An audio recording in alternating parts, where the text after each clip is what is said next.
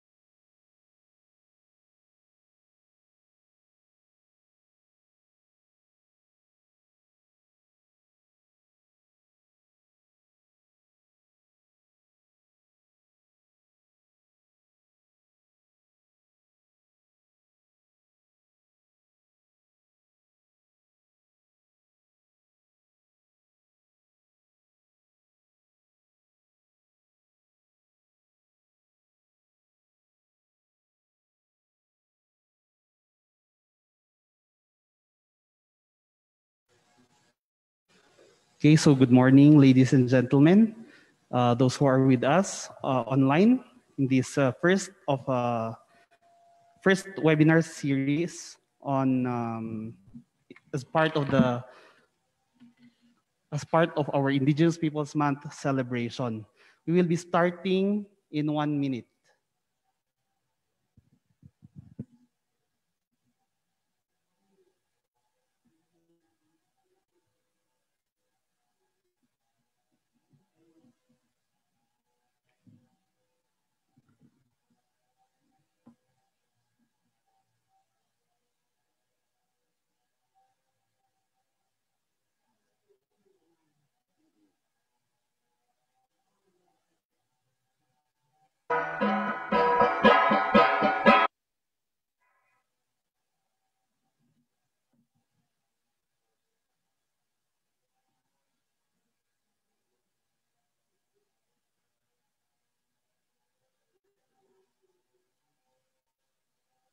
Okay, start this webinar uh, for today.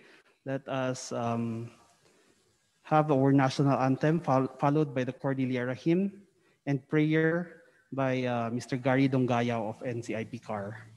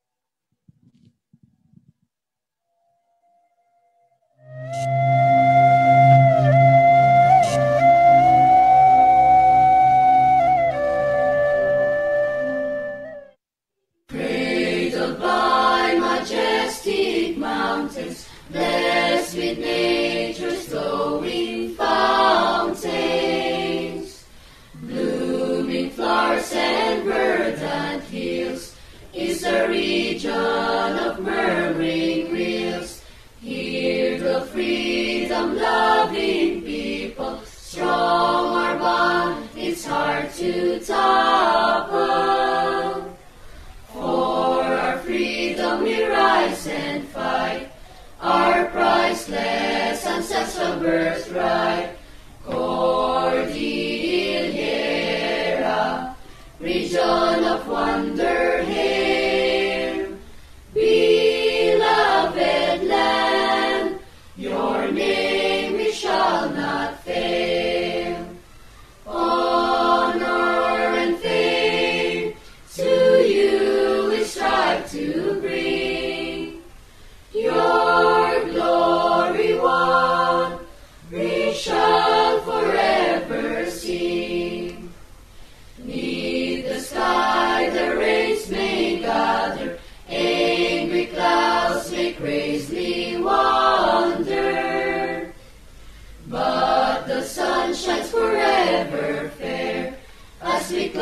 up the golden stairs.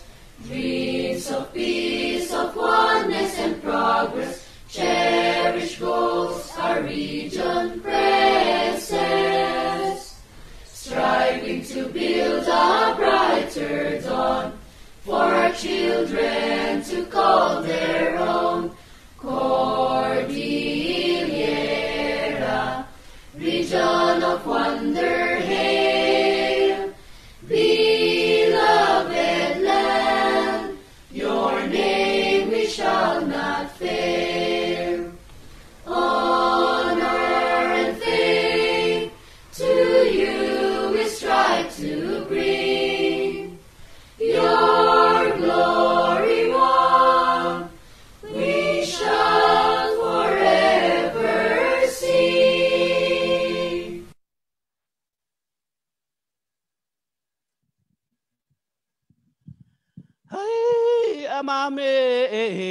Langit, kabunya nga tanu, tawaton ni kararagnanan, amamin si kaya puni dyan, Siyan mang pili lamang panpantay ja mga kas sinananay sakit biyanaan. Amami cawaton ni iya cumpik sa laingan siya ni anak no yawat sinahili sino ang gawanan tatakoy man susunutan ni amami siyan mampakawanta pasul ni siya kon ba pakawanin Nandyan susunod ni nakapasuran siya ni Amami ay apigsaan, apo ni dyan nga tiyan. At chomrosan na ning kapag sayatan tawan at yun ni mga totan susunod ni Anang cawat ni siya naman ni apo ni dyan bingatan no Echaichayakunni amami amaya punijan inka pan pantajan ijata jum tan janai madin in kan mahililan tajum nan lagsak japiksa cabatun kasinan laing biadat jom tasijakon acun ni.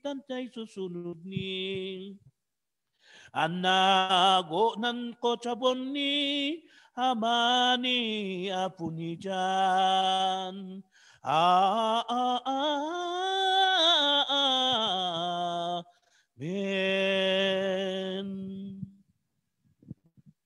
Thank you, Mr. Dongayaw, for that wonderful indigenous prayer. So, good morning po sa ating lahat. And live and alive, we're here at the RDC Hall with, of course, our first speaker of uh, this webinar series, Dr. R.R. Rovillos, uh, the Chancellor of UP Baguio. So for the welcome remarks, may we have Director Manuel Jaramilla, the chairperson for the Committee on Indigenous Peoples' Concerns and Regional Director of NCIP CAR.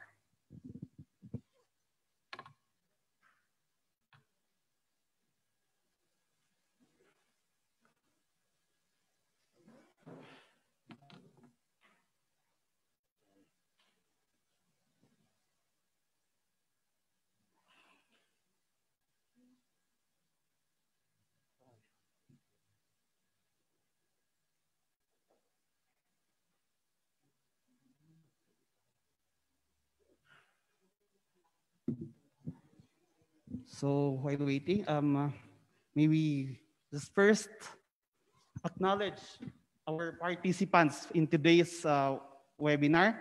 So Sir RR, ngayong the first webinar, no, we have uh, registered at least 300 participants via Zoom. Zoom lang po yon, wala pa yung Facebook and um, the YouTube. So for the attendees, confirmed attendees who are with us through online this morning, we have Abra State Institute of Science and Technology, Baguio City National High, Baguio City National Science High School, Baguio General Hospital and Medical Center, Baguio Water District, Banco Central ng Pilipinas, Benguet State University, BIFAR CAR, Center for Development Programs in the Cordillera, Cooperative Development Authority, CAR, Cordillera Study Center of UP Baguio, Crystal Cave Elementary School, the Department of Agriculture, Philippine Fiber Industry Development Authority, Department of Science and Technology, Department of Agriculture, Department of Budget and Management, Department of Environment and Natural Resources, Department of Foreign Affairs, Department of Justice, Region 1, Department of Public Works and Highways, DepEd Baguio,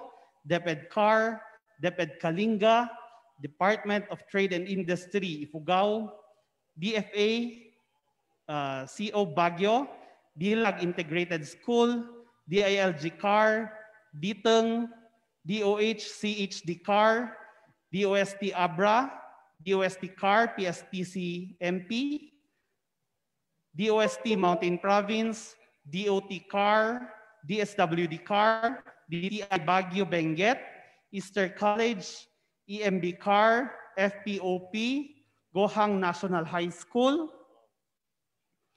Ifugao State University, the IPED School, Kalinga National High School, uh, yeah, Kalinga State University, LGU Aguinaldo Ifugao, LGU Asipolo, LGU Baay Likwan Abra, LGU Conner Apayao, LGU Man Abra, LG, LGU Lagangilang Abra, LGU Manabo in Abra, LGU Mangkayan in Benguet, LGU Mayuyaw Ifugao, LGU Pasil Kalinga, LGU Sagada Mountain Province, LGU Santa Marcela Apayao, the LRA, MGB CAR, Mountain Province State Polytechnic College, National Commission on Indigenous Peoples CAR, National Housing Authority, National Intelligence Coordinating Agency, National Meat Inspection Service CAR, National Youth Commission, NCIP Apayao, NCIP uh, Luna CS, CSC, NCIP Benguet, NCIP Itogon, CSC Benguet, NCIP Apayao, of course, NEDA, our host of uh, today's um, webinar, Nueva, the Nueva Vizcaya People's Museum and Library, Office of Civil Defense Cordillera, Office of the Provincial Prosecutor Benguet, uh, and of course, we have uh, organizations also with us online, participating online, the Parent Teachers Association, the Pro Parole and Probation Administration, PEZA, PESA, PEZA BCEZ, PESA EHSD, Philippine Export Zone Authority Baguio, Philippine Information Agency, PPA CAR, Presidential Management Staff, Professional Regulation Commission, PSA RSSO CAR, St. Louis University, SDO Baguio City, Securities and Exchange Commission, Baguio Extension Office, Tabtaba, University of the Philippines, Baguio, and University of the Philippines, Los Baños. So yun po yung registered participants natin this morning. Uh, wala pa po dyan yung, of course, we are live on Facebook and YouTube. So there are more participants po with us this, in this morning's webinar. Okay, so um, may we now have the welcome remarks by uh, NCIP Regional Director, Director Manny Jaramilla.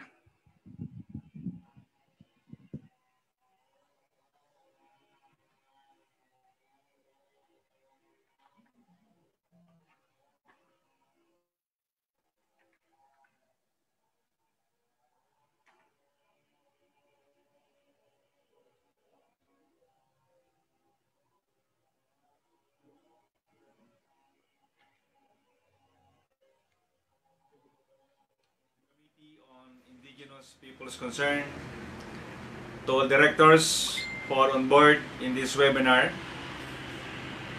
to our speaker for today, the Chancellor of uh, UP, Dr. Raymond uh, D. Rovillos, and of course to the Vice Chair of the committee, Mr. Ryan Mangusan, who will moderate this uh, webinar. To all of you, a pleasant morning. The month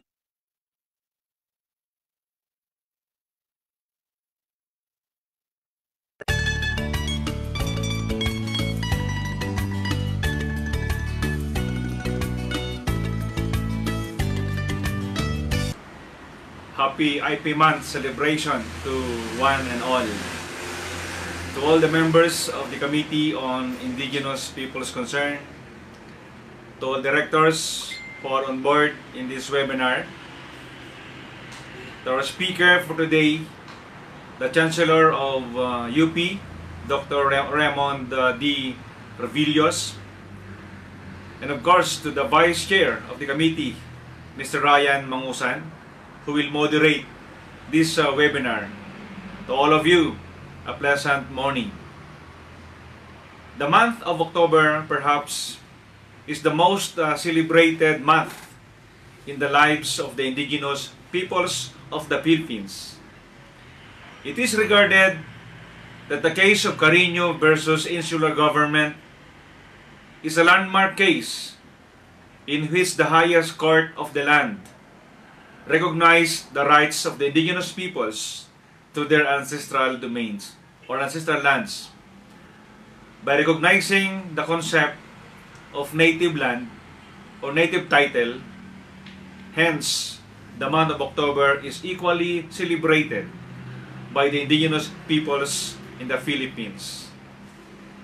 It is the month that the landmark legislation was finally signed by the President of the, of the Republic of the Philippines, the Indigenous Peoples' Rights Act of 1997 or RA 8371.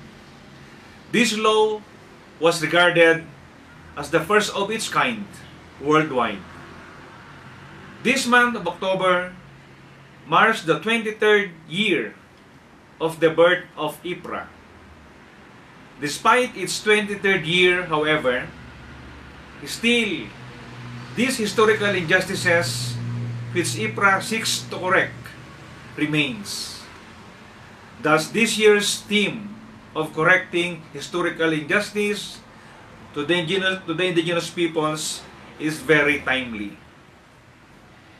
IPRA was enacted by Congress to supposedly address the centuries-old neglect to the indigenous peoples. To re-echo the sponsorship speech of the then Senator Juan Flavier, and I quote, the indigenous cultural communities, including the Bangsamoro, have long suffered from the dominance and neglect of government controlled by the majority. Massive migration of their Christian brothers to their homeland shrunk their territory and many of the tribal Filipinos were pushed to the hinterlands. Resisting the intrusion, dispossessed of their ancestral land, and with the massive exploitation of their natural resources by the elite among the migrant population, they became marginalized. And the government has been an, an indispensable party to this insidious conspiracy against the indigenous cultural communities. It organized and supported the, the resettlement of people to their ancestral land, which was massive during the Commonwealth and early years of the Philippine Republic. Pursuant to the Regalian Doctrine, first introduced to our system by Spain through the Royal Decree of 13 February 1894, or the Maora Law, the government passed laws to legitimize the wholesale land to legitimize the wholesale land grabbing and provide for easy titling or grant of lands to migrant homesteaders within the traditional areas of the ICCs. He further declared that the IPs are the offspring and heirs of the peoples who have first inhabited and cared for the land long before any central government was established. Their ancestors had territories over which they ruled themselves and related with other tribes. These territories, the land, include people, their dwelling, the mountains, the water, the air, plants, forest, and the animals. This is their environment in its totality. Their existence as indigenous peoples is manifested in their own lives through political, economic, socio-cultural, and spiritual practices. The indigenous people's culture is the living and irrefutable proof to this. Their survival depends on the securing or acquiring land rights, asserting the rights to it, and depending on it. Otherwise, indigenous peoples shall cease to exist as distinct peoples. For her part, Representative Andulana's sponsorship speech declared that this representation, as early as in the 8th Congress, filed a bill of similar implications that would promote, recognize the rights of indigenous cultural communities within the framework of national unity and development.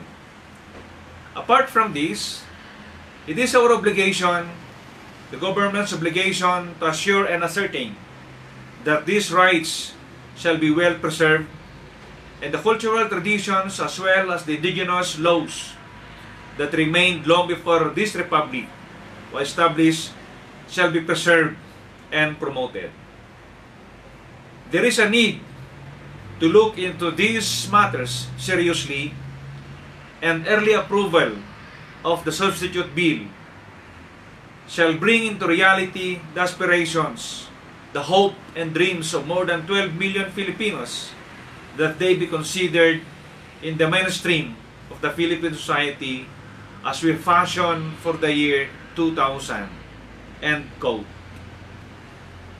Despite RA 8371, several issues concerning indigenous peoples are being consistently raised before the Regional Development Council through the Committee on Indigenous Peoples Concerned.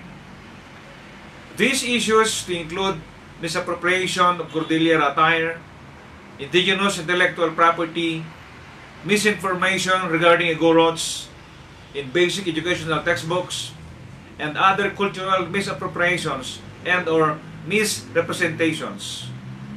The latest of which is the use of the different ethno-linguistic groups to name a sleeper brand. The theme for this year's celebration, correcting historical injustices for, the, for indigenous people's rights and welfare, is very timely. Even with the passage of IPRA, injustices against our IPs are still imminent. One of the many issues that needs proper discourse, especially here in the Cordillera, is the appropriate median of usage of IKSPs, particularly on the wearing of attires. This has been the long debate between and among the IP and non-IP stakeholders of CAR. Our IKSPs plays an integral role on our indent. Taken out of context and without a united view of the same, may lead to an imminent cultural ethnocide. How we view our IKSPs today determines the kind of mindset our next generation of IPs will be upholding as the future administrators of the Cordillera Administrative Region. In line with the 23rd year of IPRA celebration, RDC, through the Committee on Indigenous Peoples Concerned, is sponsoring this series of webinars to serve as a forum to generate inputs for policy recommendations to better address these issues. These issues being tackled during this series of webinars are very timely, especially with ongoing advocacy for the region's quest for self-determination through the establishment of the autonomous region of the Cordillera. With this series of seminars, we hope to contextualize cultural misappropriations and or misrepresentations that despite the dynamic nature of our culture, in the innovations we have adopted through generations, we will be able to preserve our cultures and traditions. It is with fervent hope that through this series of webinars, through the help of the different government agencies, we can be able to generate policy recommendations to further development, preservation, and protection of our cultures. In this webinar series, topics are divide- divided into four. One, contextualize or cultural misrepresentation. Second, cultural appropriation. Third, differences of cultural preservation and innovation. And lastly, examine policies covering development and protection of culture. The Committee on Indigenous Peoples Concerned Technical Working Group was able to summon credible resource speakers from all corners of the region. We likewise open this webinar to all those who are interested. So with these earnest thoughts and pieces of advice, I wish you all the best in achieving the objectives of this webinar. We encourage our participants not to hold back on their questions and comments. Let's make this webinar series an interactive one. Let our questions and comments, the heat of colliding ideas, fan the embers of the true spirit of IPRA. Thank you and may the spirit of gra- and grace of Kabunyan be with us all. God bless to one and all. Mabuhay ang Cordillera, agbyag dagiti indigenous peoples.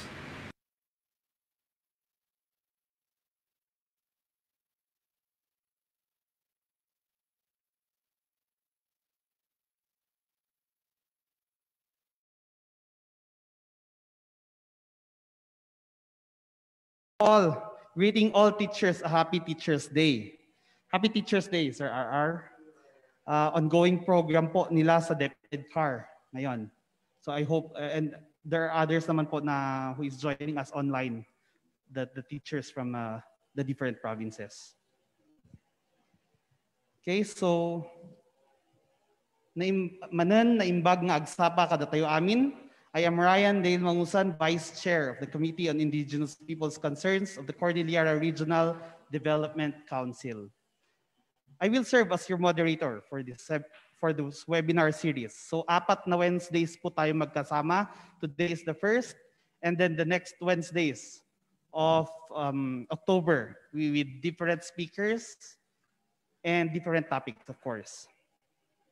The conduct of this webinar series was agreed upon during the first quarter meeting of the CIPC held on February 18, 2020, in response to the observation that issues on cultural misrepresentation, cultural appropriation, and commodification of culture often come up during CIPC meetings. Instead of simply recording these reports and discussing the issues among committee members, the CIPC thought it should hold a regional forum this October where these concerns can be examined by a multi-sectoral gathering.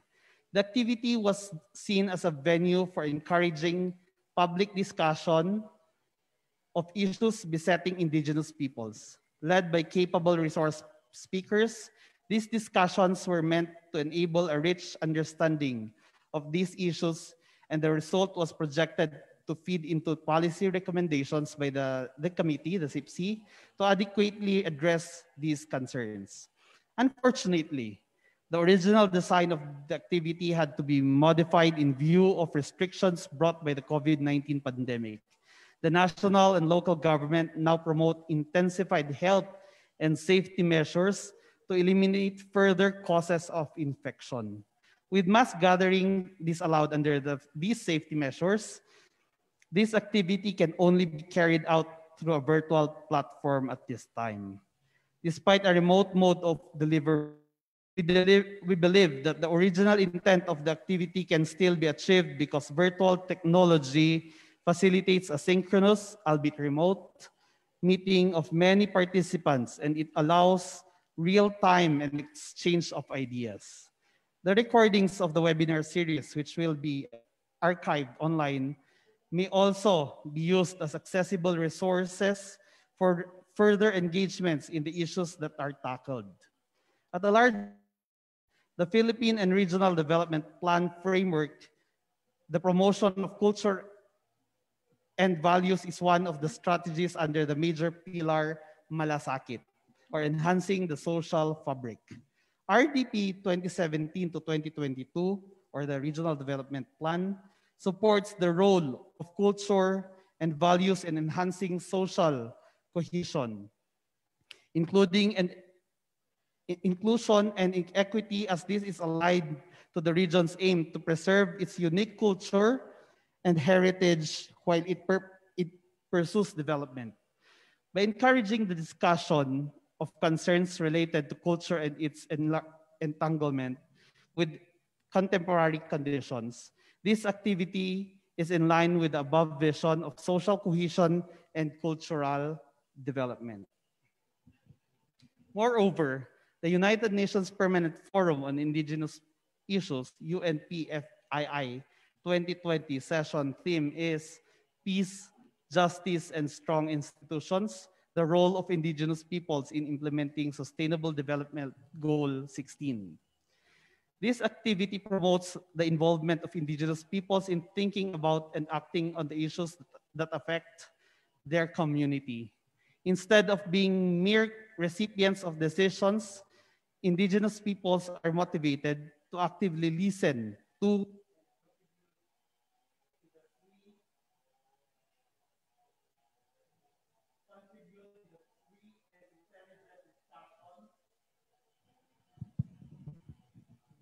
of concerns that have real effects in their lives. It is through such participation that indigenous peoples are able to help build strong institutions. The webinar series titled IP Rights, Cultural Innovation and Autonomy has four parts aired every Wednesday of October in celebration of Indigenous Peoples Month. And the 23rd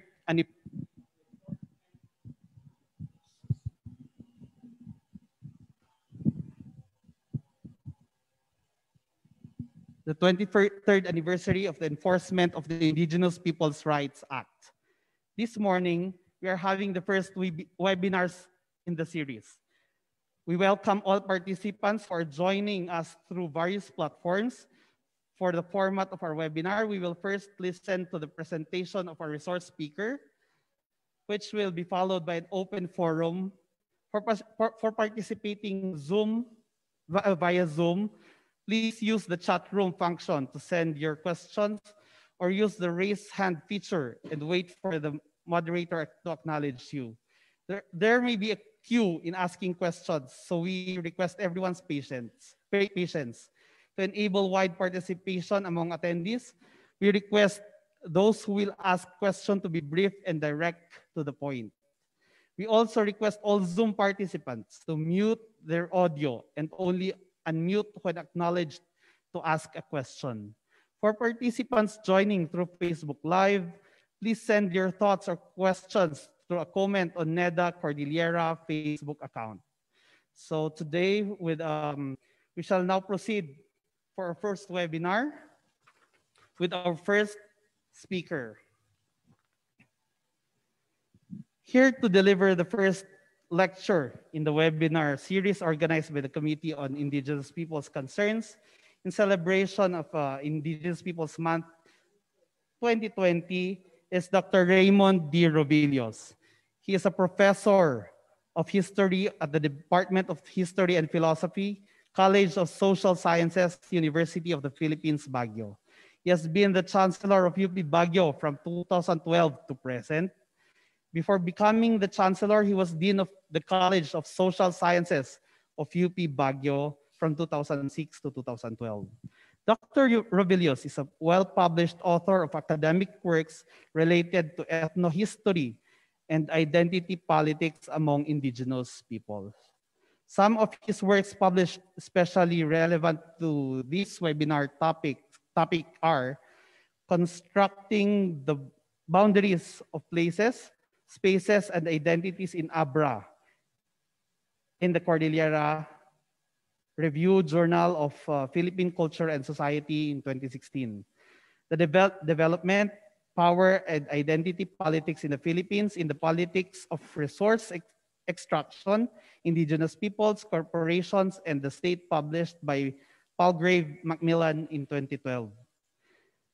Uh, number three is writing ethno history in the Philippines, narrating the theori narrating and theorizing culture in the Journal of History. Philippine Ethnohistories, the Luzon Cordillera and Beyond in 2009. Dr. Rovillos also presented papers in national and international conferences pertinent to identity, politics, especially in the construction and representation of cultural identities, such as Inclusive Development in Cultural Identities, inaugural lecture at the launching of the PhD in Development Studies at UP Mindanao held in September 2015. Paradox, Paradox of Identity Politics, Rights and Power at the UP Centennial Lecture on the Regulation of Our Identities, Indigenous Peoples, and the Enigma of Legal Representation, UP Diliman in October 20, 2008. Dr. Rovillos served as team leader, lecturer, trainer, evaluator, and other various capacities to strengthen the University of the Philippines culture of research and public service, as well as supporting other state universities and government agencies in the country. Dr. Rovillos is actively engaged in leading multi-sectoral organizations to inform public policy and local governance, most notably in the city of Baguio. He is the chairman of the Baguio We Want movement, a broad multi-sectoral coalition of CSOs advocating for sustainable development of Baguio City and the BLISTT area from February 2014 to present. He is governing is a governing board member of the Baguio Crafts and Arts Collective and lead author and organizer in the application of Baguio City as a UNESCO Creative City from May to October ah, 2017. For his academic leadership and civil civic engagements, Dr. Rovillos received various recognitions. For instance, the 2014 Outstanding Alumnus Award in Excellence in Tertiary Education Management from the Baguio City National High School Alumni Association, the 2013 Award for Outstanding Contribution to Education during the fourth Asia's Best B School Awards presented by the World Education Congress in July 2013 in Singapore. And the 2012 UP International Publication Award for Publication, the Development, Power, and Identity Politics in the Philippines. So to speak on the topic contextualizing cultural misrepresentation, please welcome Dr. Ro Raymond D. Rovillos. Thank you. Hi, Ryan. Thank you very much for that lengthy, generous introduction.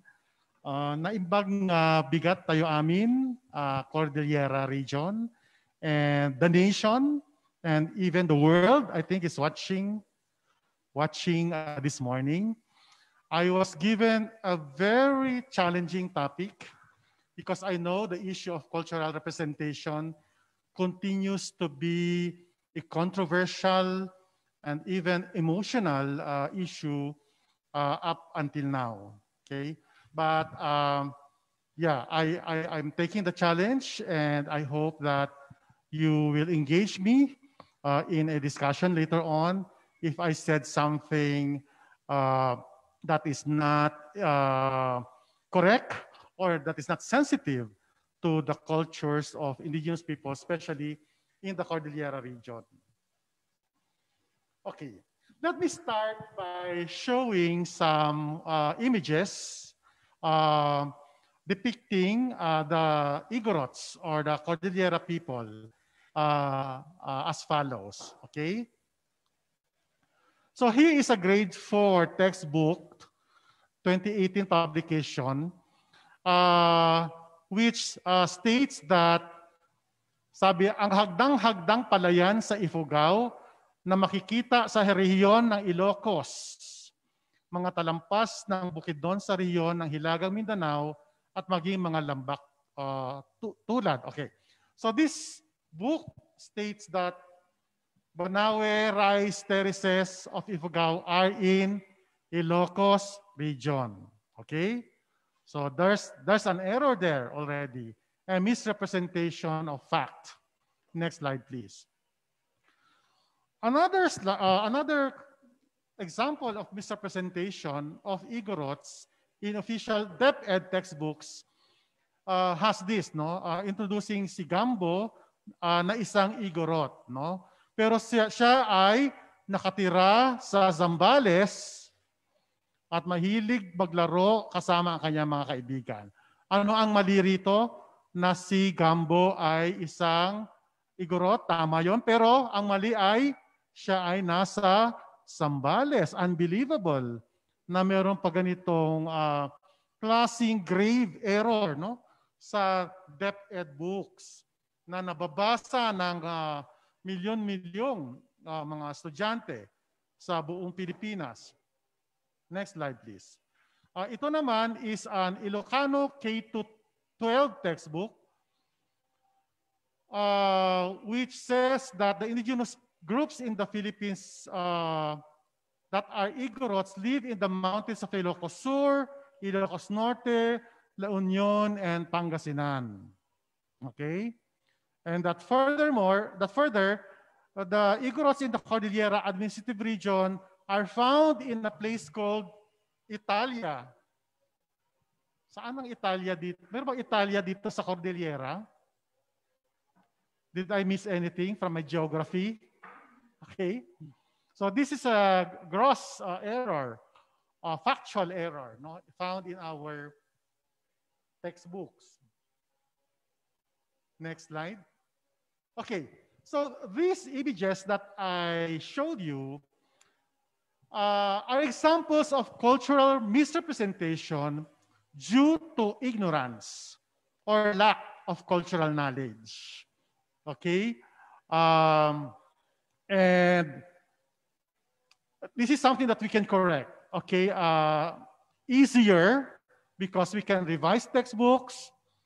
We can, although it's very expensive to do that, but uh, an error of omission, okay, is, I think, more, for, more forgivable than an error of commission, okay, which is what is going to uh, follow. Uh, the more dangerous, I think, and the more insidious, dangerous, and uh, uh, form of representation or misrepresentation is one that is more uh, substantive and deeply rooted uh, and uh, because they are dealing with more no, uh, culture, supposedly cultural based and presented as factual uh, and taken for granted as true because uh, they have been entrenched in our uh, educational and cultural institutions and even government policies. Let me give you an example of this. So you have here an Igorot, a blog about the Igorot. Uh, ang sabi dito, oh, uh, I quote natin, uh, is he an Igorot? That's why he doesn't understand the importance of paperwork and time. I started to guess, baka nga Igorot eto. I don't have any goat or hen to pay him if he doesn't want money. Ha ha ha. Okay. So uh, here, Igorot is used as a term to mean backward, low to understand, and ignorant. Okay. Next.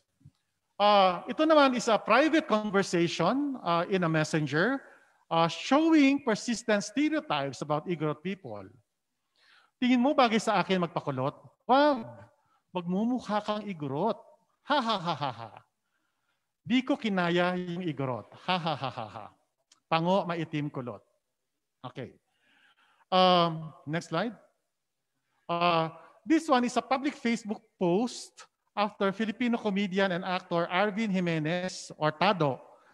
Uh, uh, his death uh, in a bus in a bus crash off a road in Sitio Paggang, Talubin, Bontoc Mountain Province. May mga igorots pala sa Facebook, buti naman may computer na sa mountains. Haha. Magpapabalita na nga kayo sa magpapabalita na nga kayo sa pagkamatay pa ni Idol Tado. Buti naman, di nyo kinain ang katawan niya. Ha, ha, ha. Okay. So, uh, again, this poster describes the Igorot as technologically backward and even cannibalistic. Next slide. Another example from a K-12 textbook, this time for the grade 1 level, uh, 20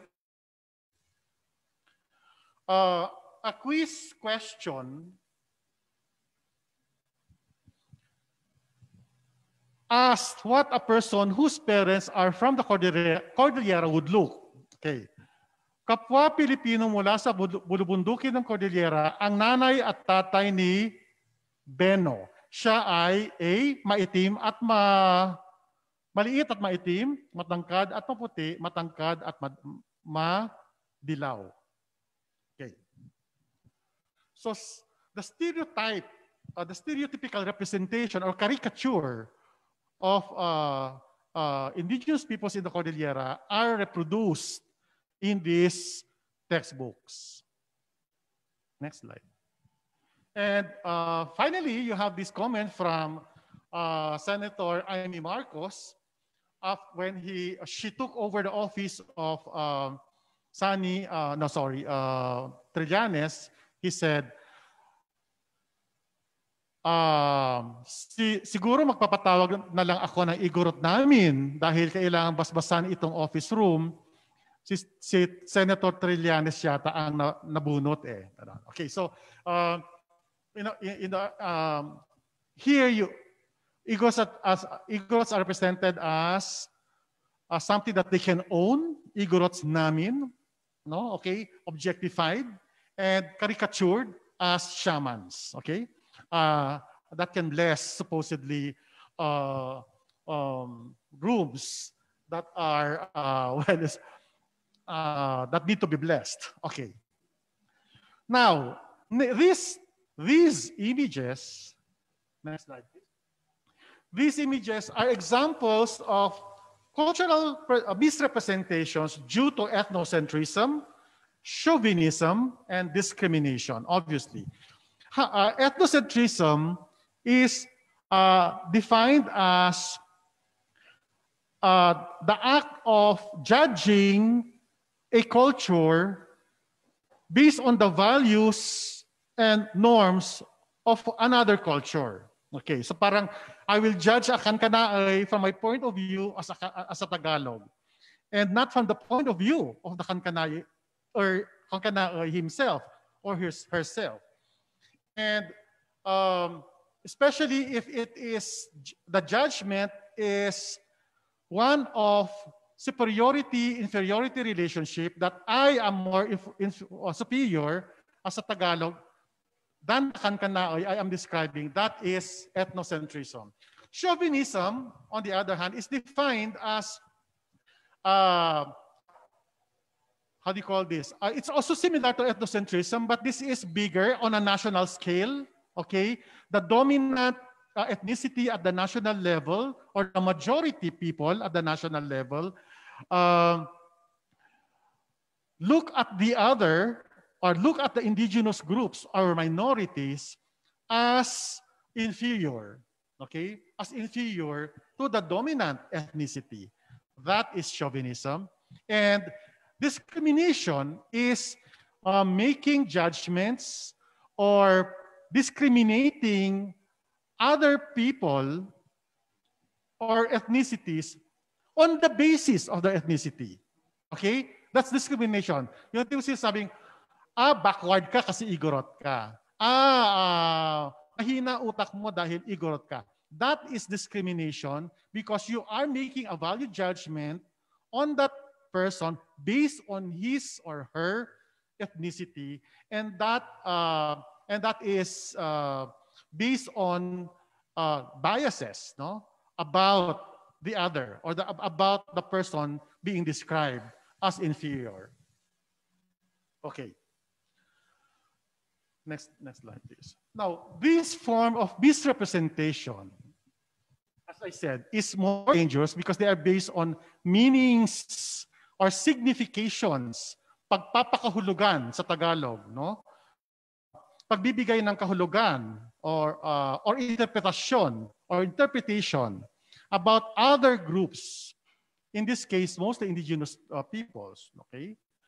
Uh, you you we have, in other words they are constructed no? Uh, they are uh, presented no as this and that okay they are and, and this this uh, uh, meanings or significations or interpretations about uh, indigenous peoples are taken as truth. Okay? Nagiging katotohanan dahil sila ay paulit-ulit na itinuturo natin sa mga kabataan mula pa nung kindergarten sila hanggang sa maging koleyo sila. So they are also deeply rooted in history and institutions. As a historian, uh, while looking at these examples of uh, misrepresentations which were given to me by the research assistants at the center, I just gave them an instruction. Just give me examples of misrepresentations. I did not give them any specific instructions.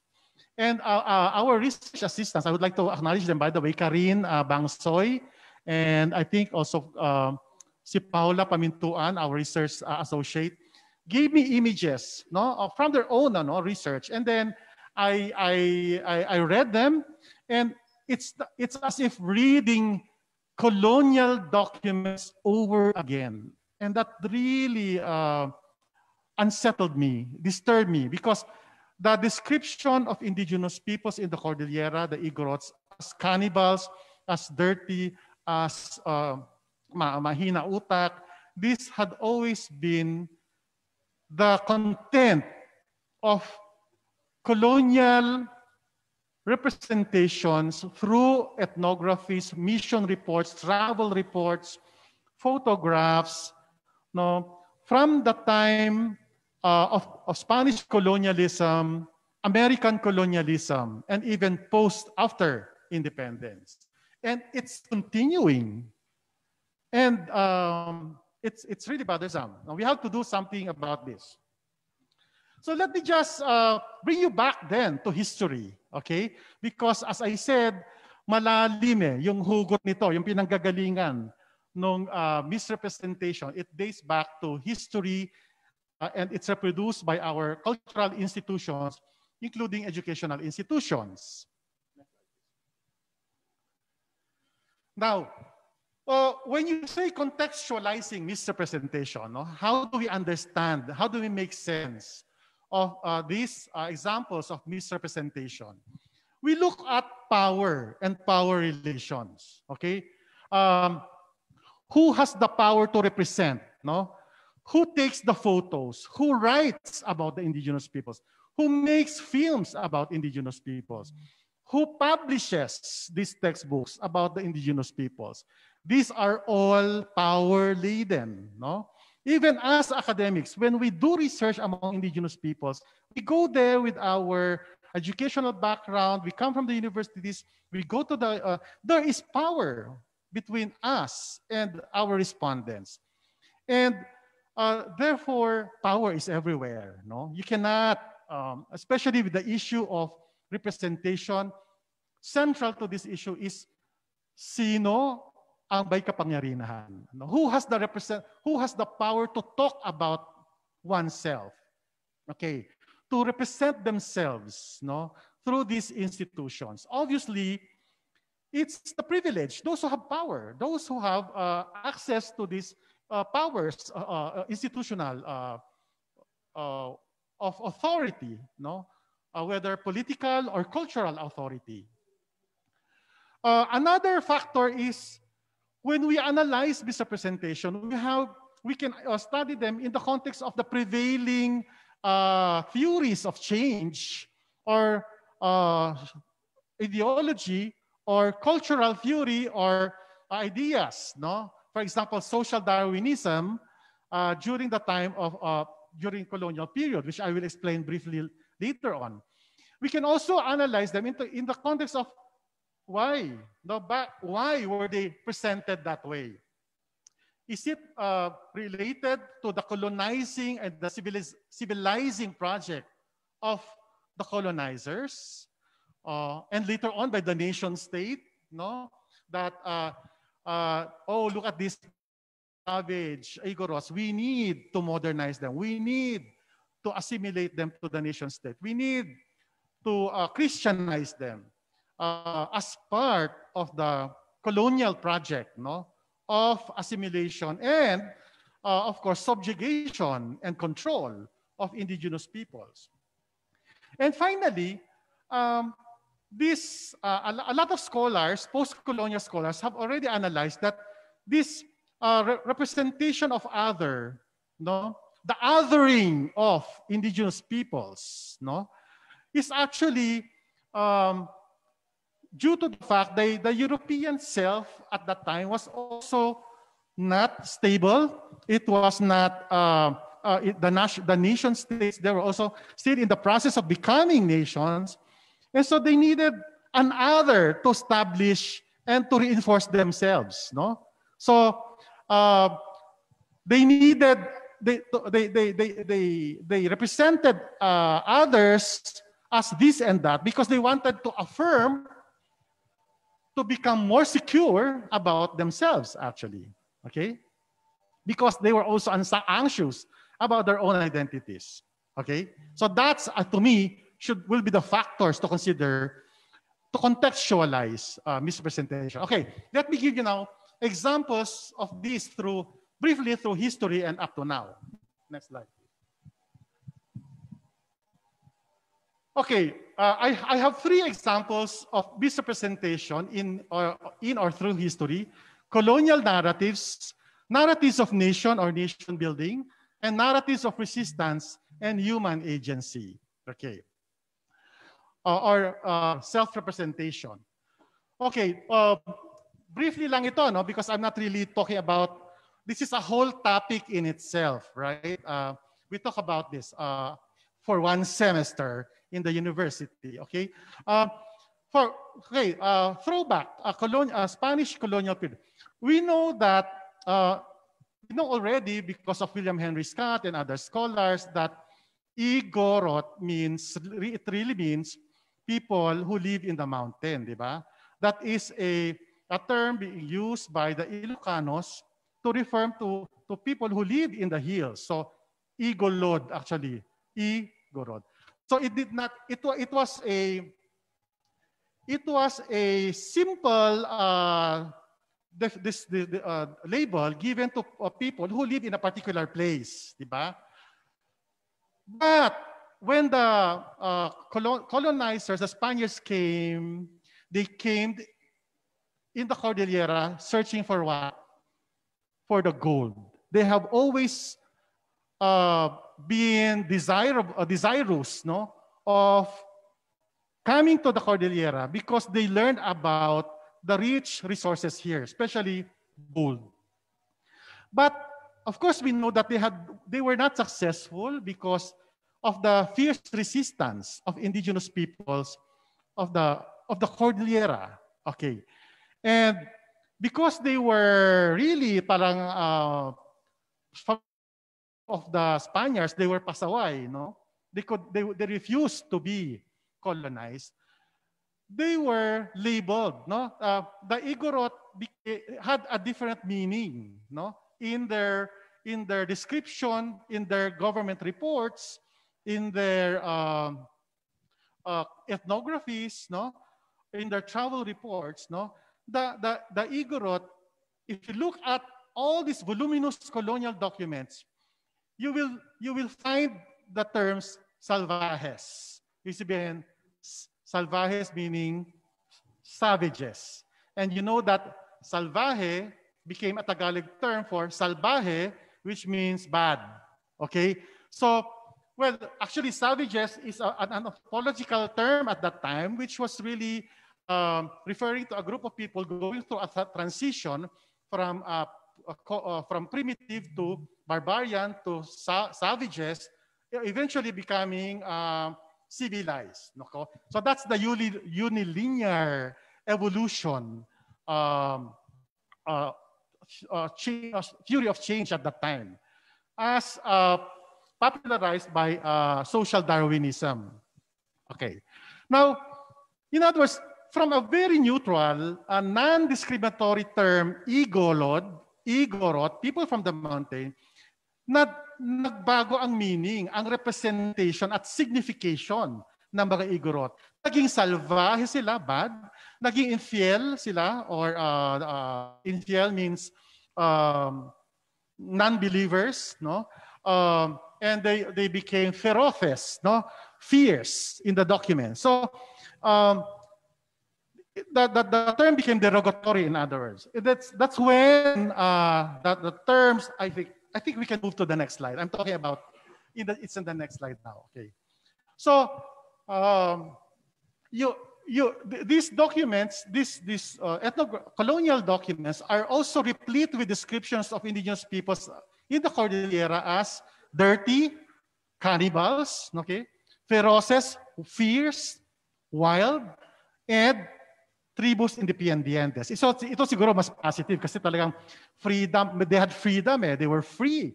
They were free for, for, for more than for 350 years of colonial uh, rule, they refused to be colonized by the, the Spaniards, maybe uh, with the exception of the, the Ab Abra Valley, no? Uh, some parts of Abra, uh, which uh, eventually became uh, under the control of the, the Spaniards. So you see, this dates back to that, no? this kind of representation. At, um, in other words, if you look at the documents, Igorot means um, really bad. No? Uh, they are enemies. No? So in other words, they were demonized no? By the Spanish uh, colonial government. And these kinds of description, these kinds of representation about indigenous peoples in the Cordillera were preached among the lowland peoples in the churches, in the schools, and even in, uh, in, in, in the written documents. So it became truth. It became factual. Ano? It became facts as, as far as the dominant majority was concerned. So no wonder up to now, th this kind of uh, biases continue, okay? And we have not really uh, um, totally eradicated them, okay? Uh, these, these kinds of misrepresentations would continue up until the American colonial period, okay? Um, because of also, because of the same project of civilizing, no? The, the, the, the. But the only advantage maybe among the Americans is that they were more systematic in really understanding the cultures of the indigenous peoples in the Cordillera, they, they sent no, uh, scholars from the universities, top universities in the US, no, like UC Berkeley, um, uh, University of California, um, uh, Berkeley, and um, Stan even Stanford, ganyan. So you have ethnographers like Moss for Abra, no, I for for, uh, for for the Ibalois in Benguet, si, si Moss, no? So you have um, uh, these ethnographers who really studied the culture of the Cordillera. And so they were better able, I think, to socially engineer no, the culture uh, so that they were really perceived as benevolent uh, colonizers. Okay? That they, they came and uh, they they work within the context of the culture and of course tried to change society and culture in the Cordillera through knowledge no, of the culture of the peoples in the Cordillera. But the representation did not change. No? If you look at um, the textbooks that they wrote, the newspapers, the, the, the, the St. Louis Exposition, of course, of 1904, they were still presented as savages, evolving from uh, being primitives to barbarians to savages. Um, and uh, eventually, uh, in, in the exposition, the, the, the, the, the pinnacle of progress of, is, of course, the Western, or in this case, American civilization. Because at that time, social Darwinism which is a fury of change and cultural change, was the dominant uh, belief or um, explanation of social change no, at that time. Okay. Next slide. Now, Did the situation change when became when became independent? No. Now let's proceed to the nationalist or nation statist narratives. Okay. Alam na, uh, if you look at the brains of the nation, no, the likes of um, si Jose Rizal mismo, Marcelo H. Del Pilar, the, the Ilustrados, okay, those who imagined a nation, those who conceived that there is a Filipino nation, actually they were influenced by the idea of a nation from Europe, okay, the European concept of nation and state, okay, and how is that defined? That it is modern, it is secular, not, not ecclesiastical or ecclesial, it is rational, not superstitious, and scientific, not also superstitious, based on uh, superstitious, okay, uh, superstitious beliefs. Okay, it is science uh, uh, based. Okay, um, therefore, in in the imagination of the Ilustrados, in fact, they also did not agree that the Igorots and other indigenous peoples in the country were not Filipinos. Okay, especially initially, in, the, in their initial imagination. Now, how is this manifested? You know, even before the 1904 St. Louis Exposition, Igorots, especially from Central Cordillera and Abra, were displayed also in an Exposición General de Madrid and, and Barcelona in um, 18 in the in the in the 19th century. Okay, uh, it, I think it was in um, 1888, that period, okay, uh, when the, the Igorots were also displayed no, uh, alongside the, the vivos animales or the live animals, okay? So the way that they narrated, that they curated the exposition was, okay, you have the flora and the fauna no, of the Cordillera, and then followed by the Igorots, especially the, the, the, the feroces Igorots, and then followed by that by the Tinguians because they believed that the Tinguians were more, you know, were not, not no longer uh, uh, savages. They were noble savages. They were on the way uh, to becoming civilized, and then followed by the Ilocanos and the Visayans and the Tagalogs, and especially, and of course, at the end of that journey is the are the Europeans, especially the, the Spaniards, who were the ultimate, okay, uh, representation of civilization. In other words, uh, and how did the propagand propagandists react to that? They said, oh, this is shameful. This is shaming us. No, uh, they were writing this. I read the, the, the, the, the, the, the writings of Marcelo H. Del Pilar and even Jose Rizal said that this, this, um, this exposition is shaming Filipinos because these Igorots uh, do not represent us. No? Why? Because they say, in other words, they, they, they believe that they are not a true representations of Filipino-ness. Because Filipino-ness at that time means almost like Euro- being European. Okay? Diba? Nakatoksido, nakamustache, naglalaro ng espada, nagsasalita ng Espanyol, oh, almost like the image of the Europeans. In other words, those who did not fit into that image were not Filipinos. And this kind of, uh, uh, of belief would continue even with great leaders like Carlos P. Romulo, who said that the Philippine, the Igorots are not Filipinos, right?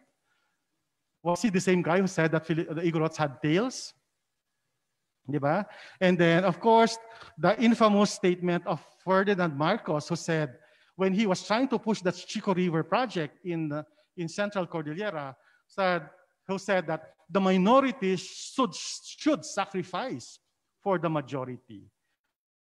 Even if they are inundated by the dams, even if they're displaced from, from their ancestral domains, they should sacrifice because these dams are for national development, for nationhood. Okay? So, even nationalism or nation state building has not been good for the indigenous peoples in general. Okay? And uh, Of course, um, there were also uh, efforts towards trying to really generally assimilate them. The general policy of nation states from post-independence, even up to now, in fact, is one of assimilation in the context of the national culture, of the, of the dominant nation uh, state or national culture. Not, still not based on multiculturalism or respect for diversity, but one of embracing the dominant culture and assimilating into that dominant culture. Now, next, uh, and then I, of course, I think we also have to recognize and acknowledge that indigenous peoples are not always victims of history. That even in while this were happening, indigenous peoples were asserting themselves agency or in the that's an academic term which means that uh, people have the capacity to react they are not passive agents of history they are also active participants in history. And how did they uh, how did they uh, uh show uh, human agency or their participation in history? Several. So we can cite for, uh, for, for as examples resistance of course as a form of human agency, accommodation, uh, because uh, through colonialism and interaction with other groups no, uh, outside of the region, of course, the indigenous peoples themselves, the Igorots, or other groups in the Cordillera had been adapting elements of culture from the lowland and even Western culture and uh, uh, embrace them as part of their own. In, uh, part of their culture, within the context of their culture, made sense of it, made use of it in the context of their own uh, culture. Um, localization, okay, as an example. Okay, we need to say you have you have you have global and national, okay, uh, uh, uh, cultures. Uh, the indigenous peoples uh, have also uh, uh, tried to localize them no? and made them part of their uh, culture and society. Even labels, for example, di ba? Okay, they have been called several names no? by the national government. No? From, from tribals no? to national minorities to uh, now indigenous peoples, IPs. Okay, and even the term Igorot, no? Uh, the indigenous peoples themselves have tried to reclaim them, no? Although these are labels that they, they, they did not create themselves, no? Uh, using the human agency, the indigenous peoples have appropriated or used these terms and, and, and, and reclaim them for their own benefit, for their own use. We also uh, have examples of self-representation, indigenous peoples representing themselves through various media and through self-determination. So I think this clamor for autonomy, for example, and self-determination is a very concrete way of showing indigenous agency or human agency that indigenous peoples have the power to act upon the situation and change their situation for the better, like any other people, like any other individuals. Okay, uh, we, I have a slide here showing examples of indigenous self-representation, okay? Uh, you have this very famous uh, t-shirt, Igorotak, which became very uh, popular among the indigenous peoples themselves, especially those uh, the Kailians who come home, they, they and wear this abroad, and they're very proud of it. No? And it, it, it, it says there, Igorotak means a statement asserting one's ethnic origin. Okay. Why did this, this create? Uh, uh, one of my students in the graduate program, she um, Ira Kajogan did a very good uh, study on on that on these t-shirts lang, no, and what uh, how it meant, how it means, okay, what it means. Next, um, you have self-representation of Igorots all over the world, no, and they're proud, no, of their being uh, Igorots, even if they're already living abroad.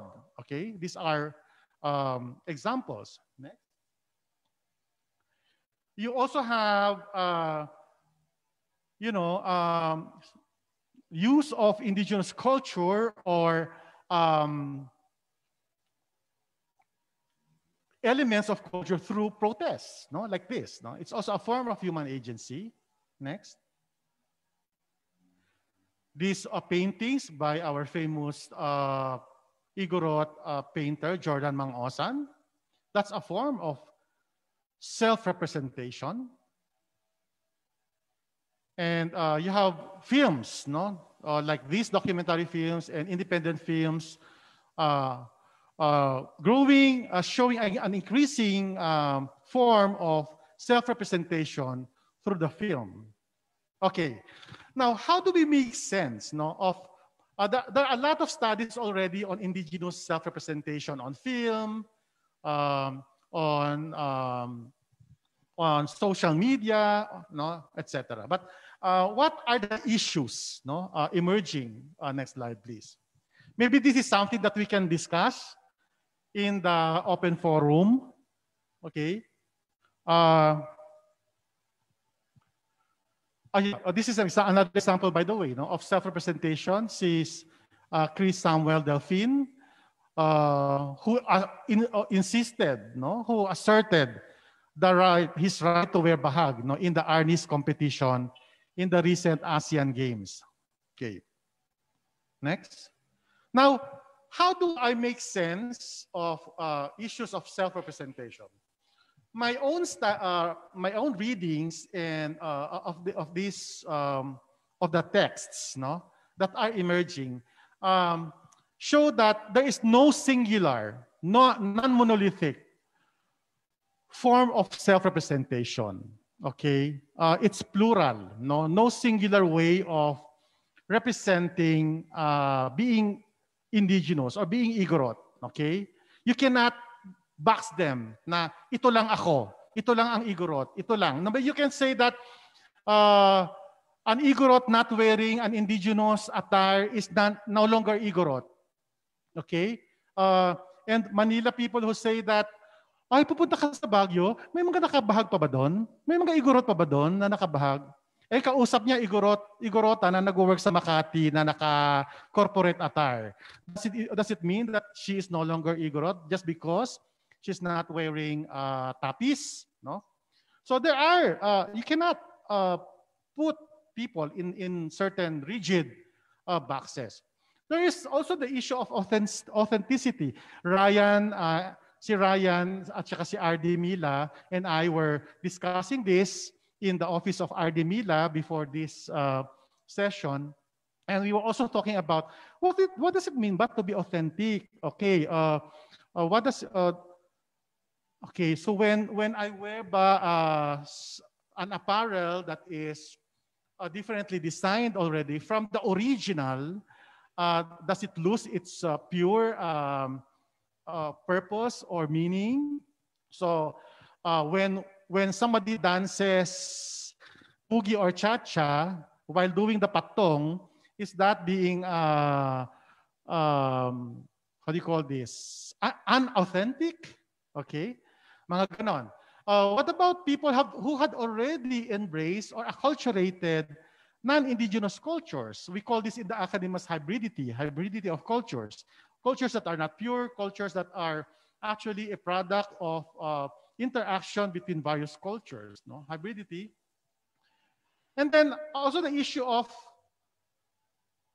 uh, exoticization or exoticization meaning um, yung exotic ba? Na ipipresent mo yung uh, indigenous na exotic yan, uh, kakaiba, no? Uh, unique, no? Um, parang exotic food, di ba? Parang ganun lang, no? Exotic beauty, si Maris, ganyan, no? Ganun ba? Sorry, joke lang, Maris. Um, so, I mean, yung bang non-indigenous lang ang nag-exoticize ng Igorot or the indigenous peoples themselves uh, do you say guilty or also do self-exoticize? Okay? That's a question that, that, that comes out. And then finally, uh, one question that uh, is being asked in, even in the academy is, who can write or speak for the indigenous? Sino lang ba ang pwedeng magsulat, mag-aral at magsalita para sa indigenous? Ako ba na Tagalog na naipanganak sa Itogon, Benguet, lumaki sa Baguio, pero hindi Igorot, walang karapatang magsalita para sa Igorot? Okay. Thus, being an automatically guarantee that he or she will write and speak for and on behalf of the indigenous? That's a thought-provoking question, but a study made by our director of the Cordillera Study Center, Dr. Ruth Tindaan, when she looked at uh, in the uh, films in the vernacular done by the Igorot themselves, concluded that by and large, the, the Igorot self-representation is one of celebration or celebration, celebrating the, the indigenous cultures and asserting uh, and, and uh, celebrating, asserting the indigenous culture. At the same time, she concluded that uh, the dominant ideology, the dominant culture is still there. In other words, even indigenous persons, who even as they speak for indigenous peoples, no matter how highly politicized they are already, may not necessarily have freed themselves of the dominant ideology or the dominant culture. In other words, sabi nga ni ano, sabi nga ni uh, Ed, uh, sabi uh, na isang African writer, I forgot si, um, yung white masks. Oh, that skips me. Anyway, he said that we have to go through a sort of a self-exorcism in a way, know, uh, and to decolonize ourselves know, uh, from colonial education, to really find and to really be able to articulate and liberate ourselves know, from the dominant culture and dominant national ideology. So uh, I will end with that. I am sure that uh, has been a provocative discussion.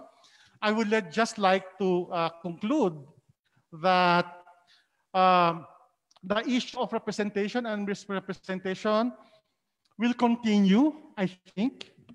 It will not, uh, it will not end after this session or not even uh, a few years from now, which for me is a good thing.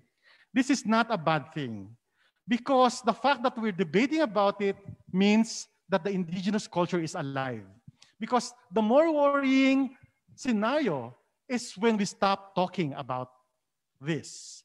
Because we have all been Hollywood assimilated. We have all been homogenized as the same. And we have surrendered our diversity as a region and as a nation. Okay? So I will end with that. Sala salamat. Thank you. Thank you, Chansey. So it is uh, indeed challenge. It's, it is indeed a challenging topic, ano? Talking about culture, tradition, being indigenous. The, you know, what is right, what is right for me may be wrong to another. So, um, yon, it was. It's a very good topic. Yun nga, with my, my nine years stay in the mayor's office, past sa mayor's office, no? attending regional development council meetings, at- attending other uh, discussions like this, talagang ang daming ang daming lumalabas na issues on on uh, on culture, on tradition, on being authentic.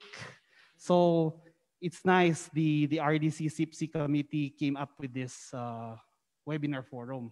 Yung tama nga si tama nga si Chansey, uh, at least pinag-uusapan ito. Hindi lang siya na sa shelf. Pinag-uusapan, hindi lang pinag-usapan sa isang meeting. Minsan kasi na, na-observe natin, pinag-usapan sa isang meeting, it's already, it's just part of the minutes of the meeting. Wala na. It stops there. So at least ngayon, we have this web, we have this webinar to discuss How we can how we can um, progress. Yeah. progress. Yeah. Uh, So tama, you know, while while discussing these problems, we can go on and on and on, Ryan. But I think I'm I'm uh, a believer of what needs to be done. Okay, what can we do? And there are a lot of things we have been doing actually, Mhm. and we can still do more. Yeah. Yeah. Of course, we thank the academy rin, ano, uh, Mm. UP Baguio also, Mm, um, for coming up with continuing researches, studies mm, on culture. Um, yon. Oo. So at the, and producing producing some of the the reading materials on on these topics. yeah, yeah. ah. So, sir, sa maganda yung presentation po ninyo, starting with the textbooks, yung mga nasa textbooks, ano? Uh, ang ano dito, question dito, is, some of these textbooks are DepEd produced. So, how is the, wala po bang proofreading kaya or editing? It has been an issue ever since na hindi lang tignan mo 2016 books pa yata yung iba dito na na, na, na present. Yeah, recent ano so hindi ba hindi pala sa yung mga nauna. So wala ba sa DepEd kaya? Whose whose job is this kaya? Sa DepEd? Yeah, I think this is something that our colleagues, our friends in the audience who are uh, from the DepEd, especially National Central Office, can uh, answer. No, uh, I cannot really speak for them, but uh, based on my knowledge, kasi textbook production is business, eh, Ryan. Yeah. I mean, well, fortunately or unfortunately ba yan? So they are parang they're always kwan by times, no, uh, timelines, massive production, meeting deadlines sometimes without really uh, uh, you know going through the motions of verifying and doing further research so nasa sacrifice yung substance Mhm. no so i think uh, there has to be i know that there there used to be i don't know if there's there is still one in the DepEd uh, a, a desk or a department on IPED or indigenous people's Oh. education um, some of our colleagues had participated in that uh, program of DepEd. Uh, they have, in fact, also produced materials on indigenous education in the country. But the, these are initiatives. Eh. They're not still the mainstream. Mhm. The mainstream publishers are still Phoenix, Aviva, ganyan, ano, mga, mga private uh, uh, institutions. I agree no, that I think, in fact, NCIP, hello, NCIP people should help DepEd vet these documents, the vet, vet these, uh, these textbooks be- before they are published. No? Uh, but of course, that will require also some ethnographic uh, expertise inside NCIP.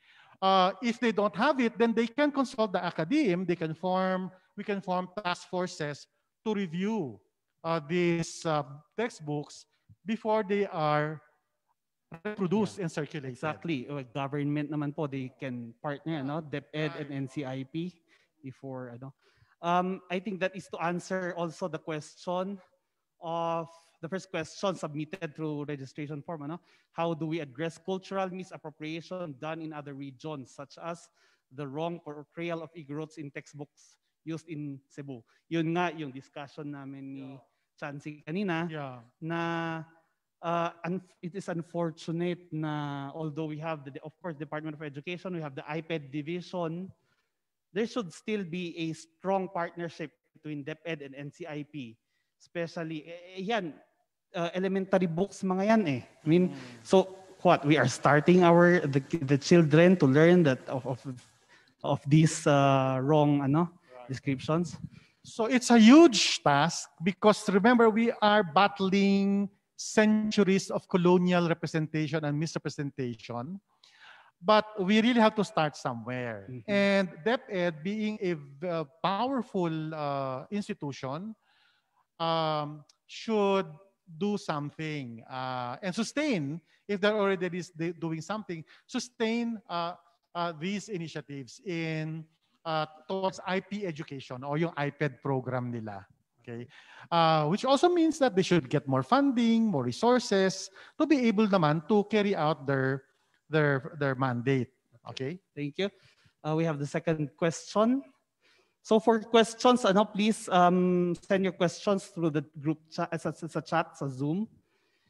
From NHA Region 1 and CAR, Chris Mongalini. A point of discussion from some of, kakailia, of my kakailians in Ifugao on the term Igorot, from Igorot meaning, Igolot meaning people from the mountains, as opposed from Ipug, Ipugo, which means people from the hills, and where we where, where the term Ifugao root came from. Now the question, have there been any discussion or more or, or move from the NCIP and the academe or other fronts to deconstruct the term Igorot and use a more generally representative term such as Cordilleran, etc., or use the specific ethnographic linguist tri linguistic tribes such as Kankanaay, Ibaloy, or others as more accepted terms of reference? Have there been discussions that the term Igorot does not represent our culturally diverse region? Thank you. Uh, sir, ano? Yeah, it's a continuing. It is a never-ending discussion, no?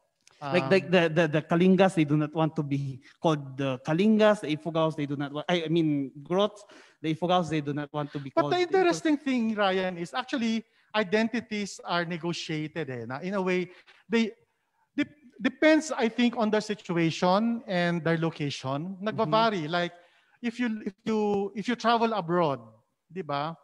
And if in, if you if you talk to a community of indigenous peoples from the Cordillera there, di ba the, they tend to represent themselves as one. Correct, Igorot, correct. Igorot Oo, kami, Igorot, oo. regardless of uh, ethnicity in the Cordillera region. Mm, mm, mm. Igorot kami or Igorot Kankanaoy, Igorot Ibaloy, basta Igorot. No, mayroon ng ganyang uh, trend ngayon uh, internationally. But uh, if we talk uh, uh, if if if they talk among themselves here, ano, if we talk among ourselves here, then the the more uh, primordial identity becomes more uh, more uh, dominant like uh, kankanaoy ako, Okay. ifugaw ako, o ifugaw na kalanguya, ifugaw na ganito, no? Mga uh, so um it's kasi identities are really fluid, no? You- it's not again cast in stone, no? We we neg- we navigate our being Filipino, our being Cordilleran, and our being Kankanaay fluidly depending on the circumstances. So I don't know if you want to really how do you call this? Define as in ikahon natin kung ano ang identity or let let it flow, no? Uh, Mm. ju- uh, no, no, as a natural course, no? Yeah. Pero I don't are- know. It's a happy- decision that we have to make. Yeah. We are happy no- to note naman po na some, um, well, in general, ma- may mga, the, the Kalingas already, parang open na. Uh, they can be called Igorot. Parang there are small groups Yeah, of, I ano think na there there's, there has been there has been a growing sense of collective identity. Especially, I would believe, when the Cordillera Administrative Region was established Mm. Uh, and the Indigenous Peoples' Rights Act, no? Because halimbawa, yung kinanta nating hymn kanina, Mm. we never sang that before. Yes, yes. In other words, just singing these songs and singing this Cordillera hymn in various schools in the Cordillera already, I think, promotes or develops a, a sense of Cordillera consciousness that was not there before. Mhm. So it's changing now. I would hasten to conclude that there is greater sense of being Cordilleran or being Igorot now than several years ago. Oo. Yeah. Um, other questions? Thank you, sir. Okay. From DNR Mia Batkagan, how are we going to represent the IPs wherein the development framework looks at inclusive as at in, inclusivity, where in fact there should be exclusivity, for example, in resource use? I think me, hello uh, Mia. Mi- Hello Mia, colleague kita ha. Oh. I, we know the development studies. So actually the term inclusivity, inclusivity is one of the most abused term now. Okay? Uh, pag, parang ngayon, parang inclusivity means, okay, lahat tayo sama-sama. Okay? Uh, include everybody. Uh, that's a very, it, it, that's a simplified definition of it. But inclusive, development really means that you allow opportunities for everyone, okay, to uh, participate in economic uh, activities. No, you don't restrict their uh, participation to engage business. No, you limit their ability to to access loans to start a business, or you only. Uh, it's not about privileging only the local aristocrats or the the local the the dominant elite in the region or in the province. Um, inclusivity is that, no? Uh, so I don't know, I don't know what what the context of this means, but um, exclusive. Um, Mia, ano ibig sabihin ng exclusive development, exclusive use? Uh, resource use, yung exclusive resource use. Um, like for example, private property or private property regimes in the Cordillera or corporate corporate uh, property regimes in the Cordillera like the uh, the uh, ano na yon yung sa forest Batangan ba yon yung sa Muyong ng Ifugao na corporate yung use. So yeah uh, there, there are rules pa rin. There are rules on ownership and use uh, also in the Cordillera region okay but inclusive development uh, means that you allow the marginalized, those who had been excluded in development, to now participate in development. Okay? So that's the general uh, notion of uh, inclusive development. Exclusive. Yung exclusive, parang meron talagang structural uh, limitations, no na limitations, oh. oh, if you're a woman, you cannot borrow loan from the Mm, bank. Or if okay, you're the okay. if you're the you call this um, uh, if you're if you're a small uh, owner, o ganito lang yung ano mo, wala kang title sa lupa, you cannot Oh. uh, borrow from land bank. Uh, that's that's not inclusive development, di ba? Okay. Uh, kasi you limit Okay. participation in business, for example. Okay. Thank you, Miss Mia. I hope uh, your questions answered. and we have here, of course, Ma'am Jade Aquino, the former NEDACAR Assistant Regional Director. Hi, Ma'am Jade.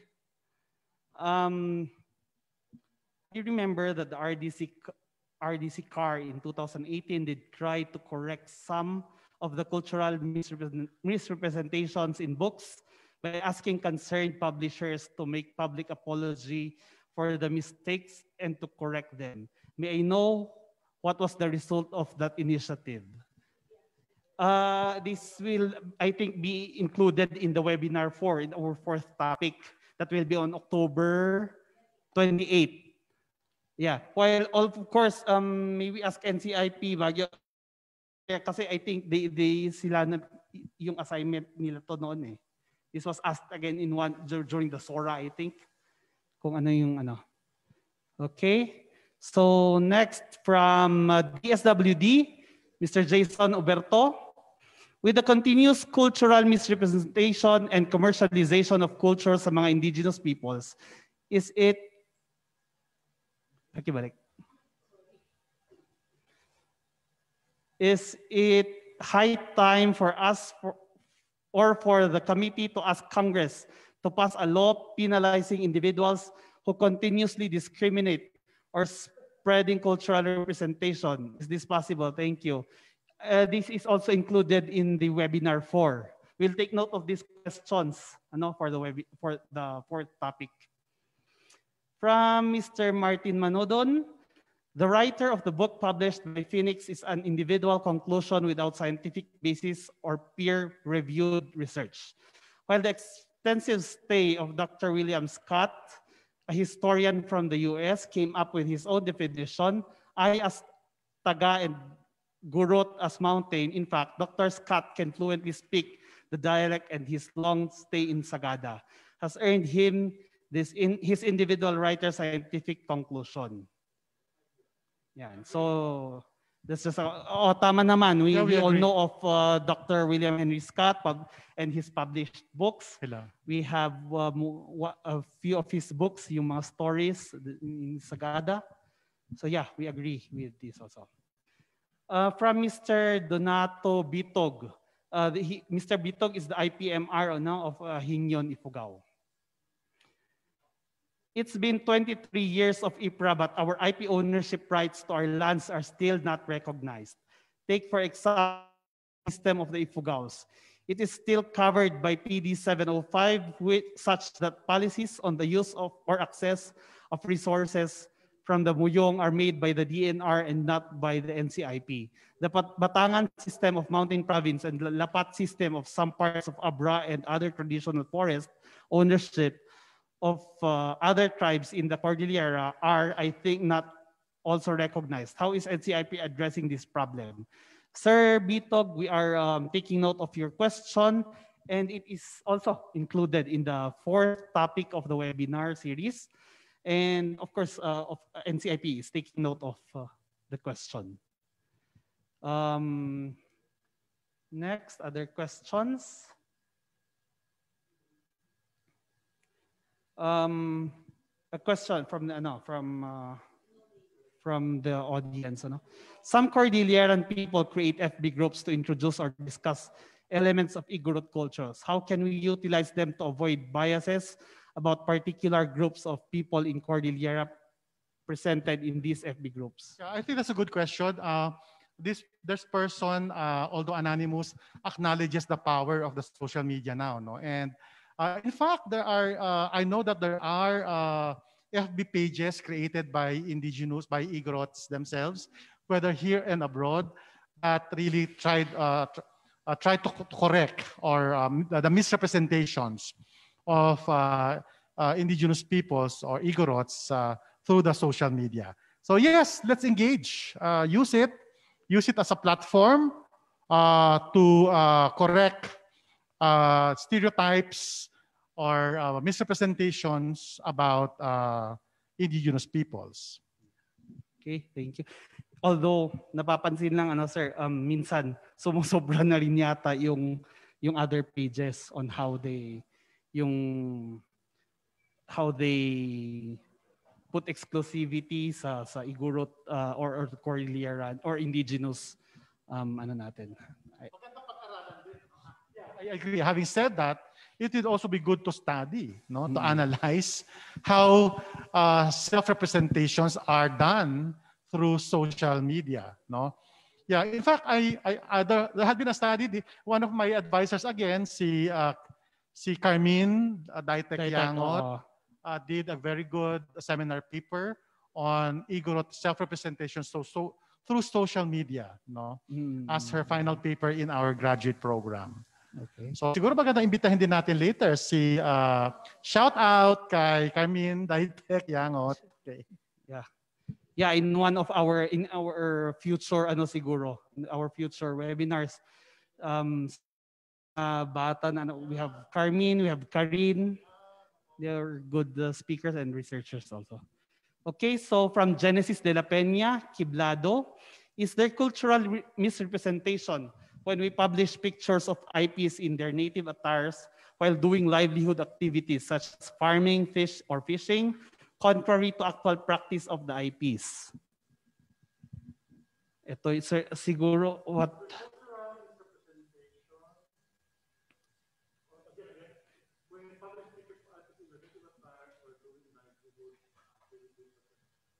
Siguro sa ito yung mga Generally drawing, wala. Wal- di ba? Na, well, I think I don't I don't think I don't see any anything wrong with that. It's the appropriation, okay? Kasi iba pa yung misappropriation eh. mm, Doon sa misrepresentation. Appropriation is what do you use it for? Misappro- cultural misappropriation is using elements of indigenous culture for something that may be exploitative of them, something that is um, not, you know, uh, derogatory or um, halimbawa, if you use this picture to show the bodies of men and women, and kumbaga, i, gaw- gawing, gawing ano sila, parang pornographic, no, yung representation. Ah, mali yun, di ba? Mali, mali yung context o yung purpose nung ginagawa mo. But if your purpose is to describe, to explain the livelihood of indigenous peoples and explain them ethnographically, no, based on ethnographic research, then I don't think that's wrong. I don't see anything because it's about cultural understanding. It's about cultural exchange, okay? It is good if it's in the, in the context of cultural understanding and exchange. It is misappropriation if you use it to exploit them, no? And to um, represent that practice in a different context. Right. Okay? Okay. Uh, So maybe the sender is siguro ano siya sa uh, photographer or what kasi uh, ito ito sir yung sa iba. Ito siguro yung mga drawing na photo ano, yung parang halimbawa in in in the, yung farming. So parang gusto mo mag-publish ng igurot and farming and pina, pinadamit mo na lang yung farmer ng uh, attire ng ano ng any of the Cordillera and then pipicturan mo and then Parang- publish it kumbaga parang y- y- y- stage, no? You Oo. stage the culture. oh. drawing yung picture. Mm, but also a form of caricaturing eh. Oo. Parang uh, gusto mong baguhin yung ima- imahe, yung representation mo. Mm. Kasi nga, um, of course, if your if your purpose is to capture the everyday lives of people, then be true to the everyday lives. Don't put them in a stage or don't ask them to wear uh, something else, no? Just because you want them to look differently in your image, no? That's unethical also. Yeah, uh, and that, that topic will also be ano, will be uh, addressed further and discussed further in, during the webinar topic 2. Uh, the title of our webinar 2, which will be next Wednesday, is Delving into Cultural Appropriation. Okay? So, I think, sir, that's it for your topic. Ang ganda, ang daming pwedeng i-discuss, ano? Sa self-represent. Ang favorite ko is the self-representation. Kasi Oo. meron pa yung gusto kong ilabas doon na yung there are those na although they take it as a joke pero syempre yung nakakarinig they take, take it seriously yung parents ko lang ang igurot yung mga ganon. Mm, mm. Kaya yung Oo. ah, yung indigenous by penetration, mga ganyan. yeah, oo. mga joke lang. indigenous by insertion. Oo nga. Eh, Siguro- depende kasi sa context eh. Kung halimbawa, depende kung ha, halimbawa, close na ba tayo para i-joke mo ako ng ganyan. Ganun Oo. din, di ba? In ordinary lives.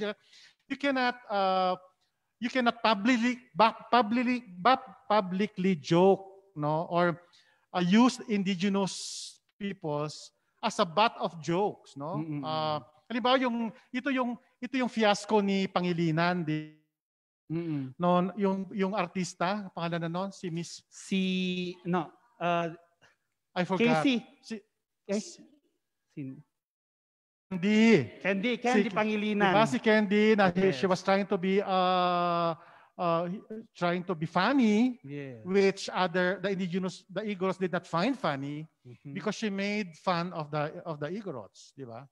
Uh, so that's that's uh, that's my, in that sense mali, no? Okay. In other words, if you utter words about other people in a in in, in a way put them in a inferior situation or that will hurt their feelings, no? Um, is is not good. In other words, this whole issue of discrimination and misrepresentation is also very emotional, very uh, subjective, and and um, we have to acknowledge that.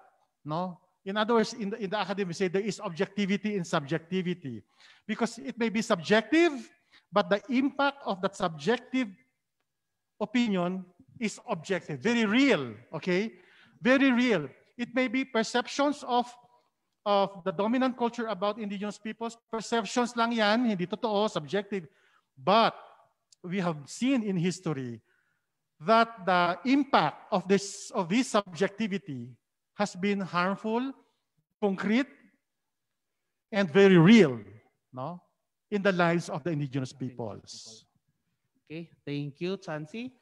Uh, that was a gr- uh, very good discussion, ano, and uh, very challenging in the topic. So we have co- uh, from Sir Philip Tingonong. I think he's Philip. Oh, oh, I thought it was. eh, eh, Comment lang naman. Thank you for the very good comment. Thank you for this critical and awakening seminar. These really are the. This really is the need of these times. More so, I in the area of iPad and context. Thank you, Manong Thank you, Philip, thank you. or adding Philip, as the case may be.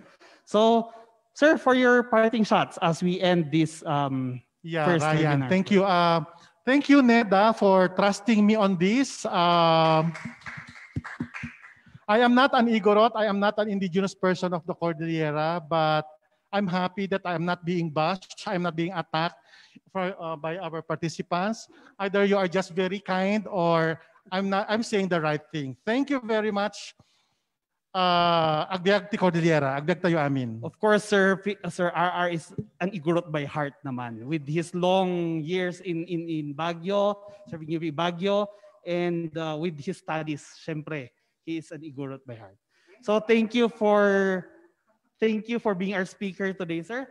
Here is a cert, um, of course, NEDA uh, RDC CAR and the, the, the committee gives um, a certificate of appreciation uh, and it reads Certificate of Appreciation, the Regional Development Council and Committee on Indigenous Peoples Concerns presents this certificate to Dr. Raymundo D. Rovillos in appreciation of his contribution as a resource speaker on context- contextualizing cultural misrepresentation in the webinar series in celebration of the Indigenous Peoples Month, given this 7th day of October 2020 in Baguio City, Philippines. Signed, Maria J- Jocelyn V. Bernos, Chairperson RDC CAR and Governor, Province of Abra, and Manuel A. Jaramilla, Chairperson, C- CIPC, or, and Regional Director, NCIP CAR.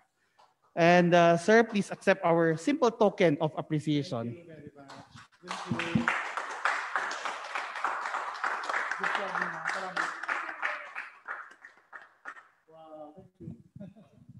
Okay, so yon may mga pahabol na comments. Thank you, Sir RR, proud student here from Sir uh, from NCIP Kevin Fonseca. Okay, so thank you very much, everyone, and uh, see you again in the next webinar, the webinar, the second webinar forum on October's no October 14, same time dito rin po sa RDC Hall, and we hope um, the same number and more will be will register po sa ating Zoom webinar. And thank you very much. Please keep sharing our invitation and the topics for the next uh, for the next webinar series. Thank you very much and have a good day.